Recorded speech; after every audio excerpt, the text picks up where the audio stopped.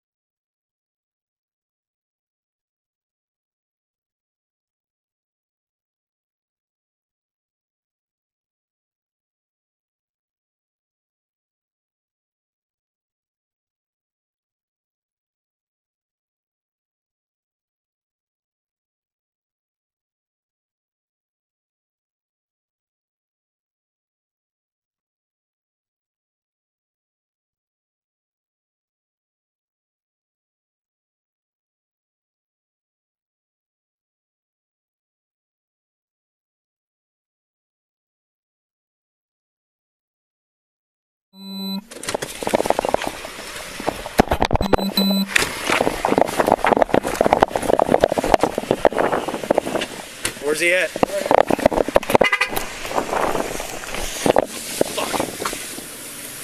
Officers, okay? 111, start EMS code 3, shots fired. Officers are 10-4, uh, suspects being taken into custody right now. Oh, front. That's all right.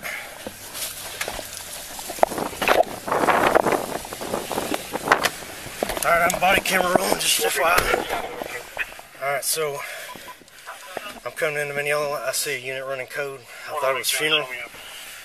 I seen another one bailing behind him, and uh, I said, "Hey, y'all need help with something?" They said, "Yeah, we're 1080." So we turn around, start trying to back him with uh, the 1080. We finally get the reason out. Apparently, he stole something from somewhere. I'm assuming Walmart, and tried to run an officer over. About the time we catch up over here, I hear shots fired as we're coming up on the Hey. square.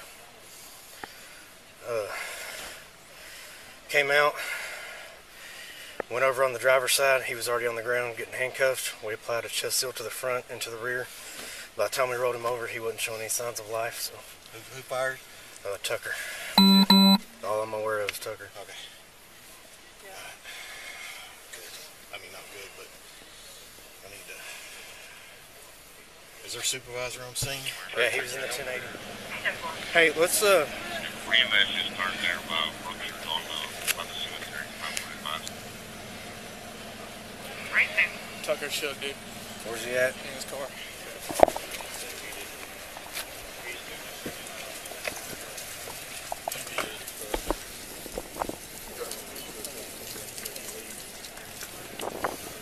If you need something, you look for me. I'm gonna be around here, okay? Just fucked up right now. That's all. Just fucked up right now. Can I do anything for you? You got any nicotine? Yes. It's all you, man. Is there enough in there? Sure. Tucker, I'm gonna leave you alone.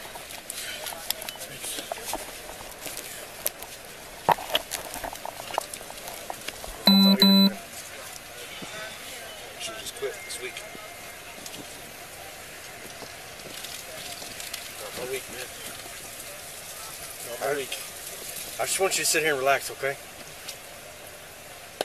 I'm not, that's yours. No, dude, I think I'm good. Sit here and relax, All right.